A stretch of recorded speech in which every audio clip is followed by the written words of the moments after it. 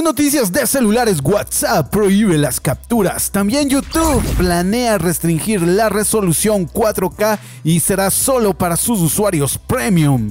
También Apple no la está pasando bien ya que sus nuevos iPhone 14 no se están vendiendo como ellos esperaban. Y al contrario de Apple, Xiaomi pues ahora la está pasando bien y han sacado dos nuevos eh, calidad-precio de alta gama, el 12T y el 12T Pro. Twitter también está red social que bueno es más para informarte, ahora quiere ser como YouTube con los shorts o como TikTok. También Google lanza la fecha oficial de sus nuevos altas gamas y esto nos lleva a la última noticia de este video y es que eh, uno de sus teléfonos más icónicos, el Google Pixel 5A, se desploma su precio a un valor sin sentido. Todo esto y mucho más en este NDC, noticias de celulares y algo más resumen semanal tecnológico. Hola amigos, hola bros, ¿cómo están? Miren, antes de nada quiero mandar saludos a las nuevas, sí, mil nuevas personitas que se han suscrito a este canal y sean...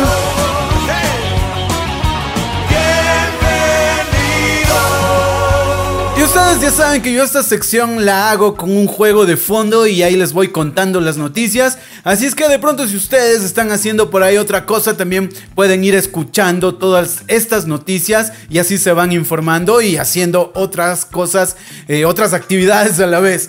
Bueno amigos, sin más preámbulos, pues comencemos. Y vámonos con la primera noticia. WhatsApp, la aplicación más usada para comunicarnos, está probando prohibir las capturas de las pantallas como una opción para proteger la privacidad de los usuarios. Y pues esto tiene sus pros y sus contras, porque así ya no se podría tener pruebas de conversaciones acosadoras que se podrían utilizar en defensa. Incluso eso ha servido mucho para enviar personas a la cárcel. Y bueno, esto de prohibir las capturas en general no creo que estaría bien. Y bueno, lo que se sabe es que están probando es que el usuario tendría la opción de dejar a los contactos que él seleccione la oportunidad de que tomen capturas de, de los estados o de las conversaciones. Y si te restringen, cuando hagas una captura simplemente saldrá una imagen en negro. Bueno, si es para privacidad yo creo que estaría bien, pero si quieres sacar pruebas legales de alguien que te está empezando a amenazar, a estafar, a acosar, creo que por ahí esta función no, no va a ayudar mucho, que digamos. YouTube planea restringir la resolución 4K. Así es esta linda plataforma que nos acoge y nos da la oportunidad de crear y compartir contenido. Anda planeando restringir la resolución 4K eh, gratis. Lo que desea YouTube es que si quieres ver en 4K tendrás que ser usuario premium y pagar una mensualidad, sí o sí. Algo que ya ocurre o siempre ha tenido otra plataforma de videos, Netflix, que en donde pues si quieres la máxima resolución tienes que pagar más. Bueno, comparar YouTube con Netflix sería como comparar manzanas con naranjas, pero por ahí va la cosa. Bueno, este rumor ha salido de un usuario en la India que quiso ver contenido en 4K y le dice en la configuración que el 4K está solo para usuarios premium. Así que YouTube esto ya lo está probando en algunos países. No sé si le vaya a ir bien con esto. Eh, yo creo que por lo menos en Latinoamérica la resolución preferida es el Full HD. Así que creo que esto no va a tener una buena acogida por acá. Otra noticia que ha estado rondando esta semana es que Apple no la está pasando bien con el lanzamiento de los nuevos iPhones. No están teniendo las ventas esperadas y pues esto tenía que pasar en algún momento, pues Apple infla mucho el precio de sus productos y en especial de sus iPhones. Y pues el mundo todavía no está en su mejor momento, pasamos todavía por una pandemia, no hemos salido de ella, ya son casi dos años, estamos viendo guerras, hace poco escuché lanzamientos de cohetes por Japón, misiles por ahí, y creo que lo último que desea un ciudadano clase media o media alta es pensar en renovarse su, su iPhone. ¿sí? Los que sí lo han renovado pues es la clase alta y los millonarios, multimillonarios, pero pues recuerden que no hay demasiada gente millonaria para que se cumplan los objetivos de la empresa. Entonces, así que están en problemas en Apple y de verdad, mil, mil quinientos dólares que cuestan esos teléfonos y que no innovan mucho, así, digámoslo frontalmente, pues además eh, también son teléfonos que duran mucho o las personas los utilizan hasta por unos 5 años, así que Apple tendrá que ver cómo sale de este problema.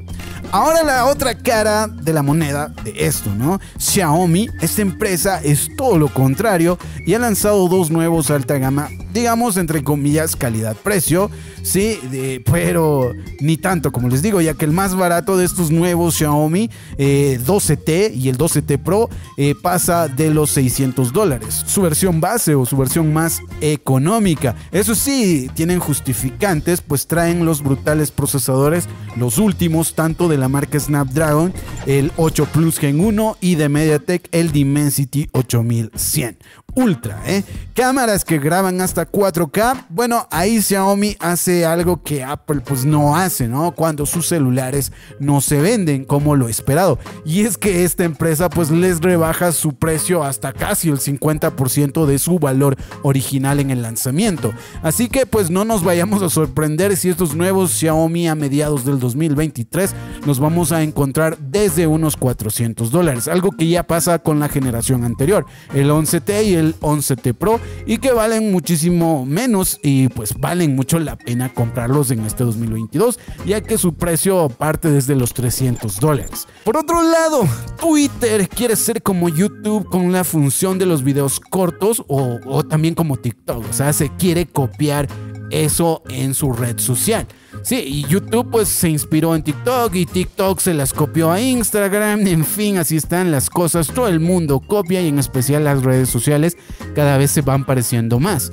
Sí, Twitter que yo en lo personal la utilizo para informarme, leer, ver noticias, pero no para ver videos, casi no veo videos ahí.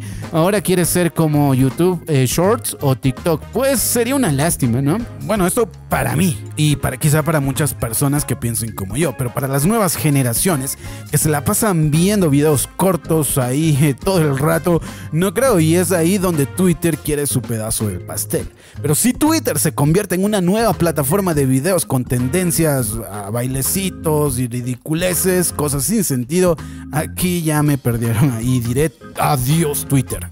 En otra noticia, Google hace oficial la presentación de sus dos nuevos teléfonos de séptima generación, el Pixel 7 y el Pixel 7 Pro, los cuales tendrán un nuevo procesador de Google, el Tensor 2, fabricado en solo 4 nanómetros, y que según dicen los rumores confirmados, estos nuevos teléfonos tendrán su propia comunicación satelital.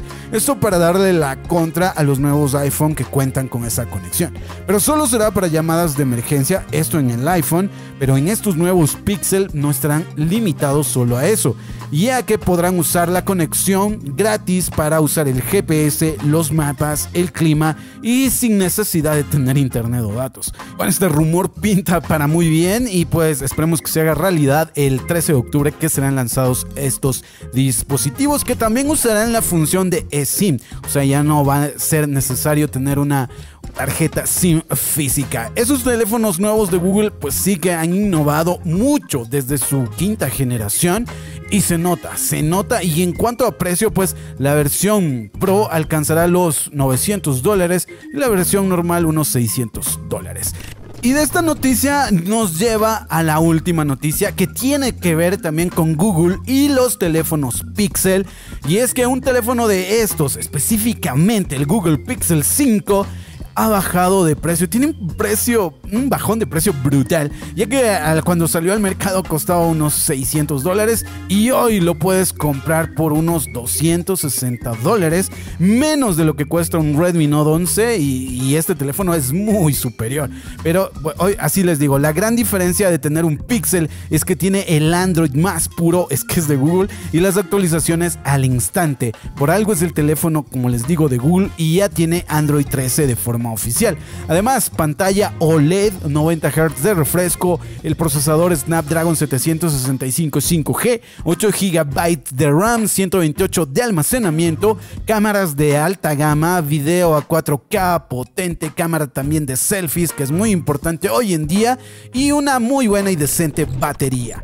Carga inalámbrica en ella también y unos altavoces estéreo. Es un teléfono que vale muchísimo la pena. Si quieren darle un vistazo, ya saben, les dejaré el enlace ahí en el comentario fijado de este video. Espero que este NDC, estas noticias de celulares, haya sido de utilidad, de entretenimiento, de información. Ya saben, si fue así, un fuerte like. Amigos, les espero en el próximo video. Ya saben, sigan pa'lante, pa'lante como un elefante. Hasta la próxima. Adiós. Chao, chao.